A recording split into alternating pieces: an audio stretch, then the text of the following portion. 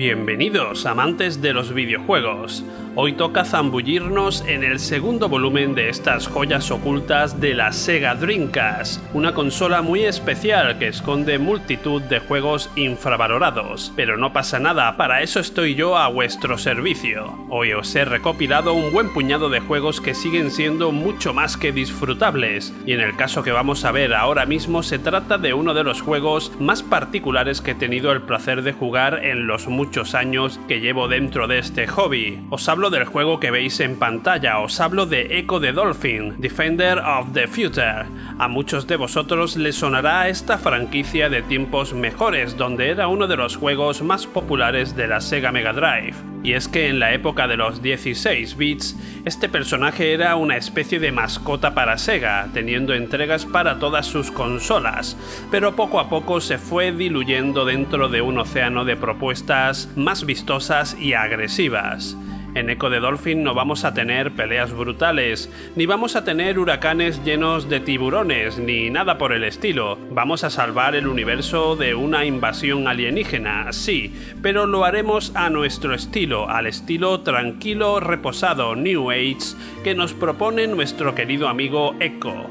Esto no nos tiene que engañar y creernos que este juego va a ser un paseo de niños. Parte del encanto y de la rareza de esta saga residía en que eran juegos muy calmados y relajantes por un lado, pero a la vez eran muy difíciles, incluso podríamos decir que crípticos en sus mecánicas y objetivos. Es en este raro equilibrio de juego relajante y a la vez frustrante donde reside el encanto de esta saga, y también el por qué hay muchísima gente que no la traga, que no la comprende. Este juego en concreto es el cuarto título de la serie Echo de Dolphin y fue lanzado en el año 2000 para la Dreamcast. Está ambientado en un universo con una historia que no tiene vínculos con los títulos originales para Mega Drive, por lo tanto es algo así como un reinicio de la saga, un reboot. Lamentablemente este juego fue el último de la saga de Echo. Las malas ventas llevaban acompañando a la saga que se veía sobrepasada por la avalancha de títulos mucho más comerciales y directos. Es una pena que sagas o ideas como estas se vean relegadas a desaparecer, pero así es la evolución, no tiene piedad con el que no se adapta a los gustos de los jugadores para compensar el anterior y poco comercial juego, vamos a daros ahora una ración de lo que yo sé os gusta. Ultraviolencia, sangre, disparos y zombies. Lo que sea porque no os vayáis del canal, que, que por cierto, si le dais a la campanita sería un detalle. Sega volvía a realizar otra buena conversión de su placa Naomi a la Dreamcast, porque si algo no le faltó a esta máquina fueron conversiones muy notables de prácticamente todas las máquinas que tenía Sega en aquellos días por los salones recreativos de Akibahara. Esta vez hablamos de un beaten up en 3D al más puro estilo Final Fight, pero con una ciudad llena de zombies de por medio, como si fuera Raccoon City, pero a hostias y de Sega. ¿Qué más queréis en esta vida? En este juego, además del modo arcade, fiel a la recreativa, está el modo original, el modo pensado para jugar en casa, en el que podrás elegir jugar de tres maneras distintas, normal, especializada en golpes y especializado en armas, que sobre gustos no hay nada escrito. Estas tres selecciones en la jugabilidad marcarán tu experiencia de juego, volviéndolo totalmente diferente de una a otra. Podrás elegir además entre tres personajes debidamente genéricos, como por ejemplo un chico típico americano, una chica que por supuesto es guapísima y el preferido de la muchachada, un agente japonés experto en artes marciales. ¿Nunca os preguntasteis cómo actuaría Jackie Chan en un apocalipsis zombie? Pues este juego os trae aquí la solución.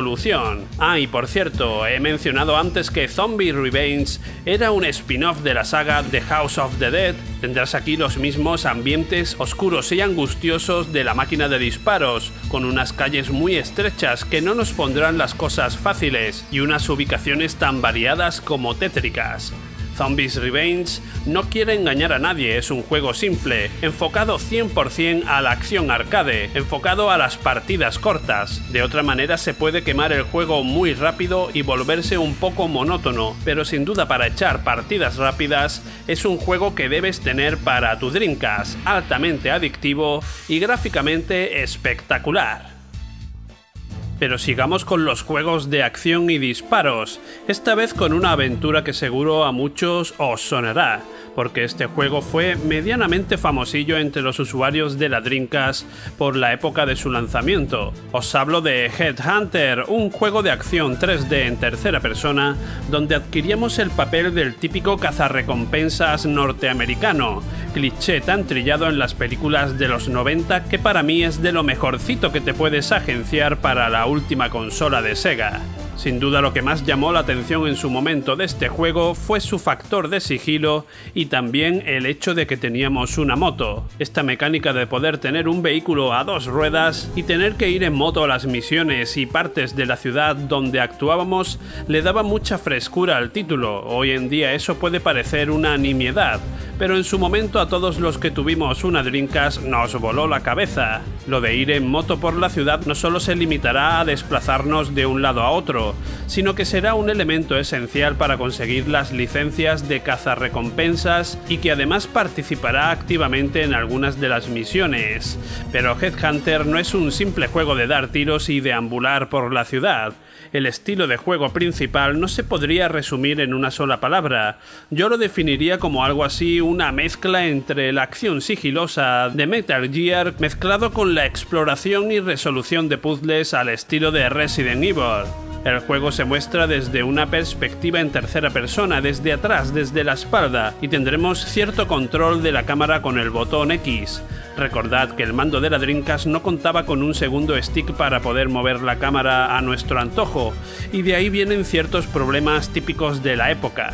Como en todo juego con elemento de sigilo que se precie, existe la posibilidad de pegarse en las paredes para no ser vistos y así pasar desapercibidos, para a continuación girar la esquina y disparar unas cuantas balas y volvernos a esconder, pero también es muy importante utilizar los elementos del escenario como escudo o incluso utilizarlos a nuestro favor como arma. Como veis tenemos aquí un juego variado y tremendamente interesante, sin duda una joya del catálogo de la Dreamcast, que si no habéis jugado os puede sorprender muy gratamente. Vamos ahora con un juego que yo no conocía hasta hace relativamente poco y que es una maravilla dentro del catálogo más soterrado de la Sega Dreamcast. Este es el típico juego que cuando conoces te hace apreciar aún más la máquina a la que pertenece.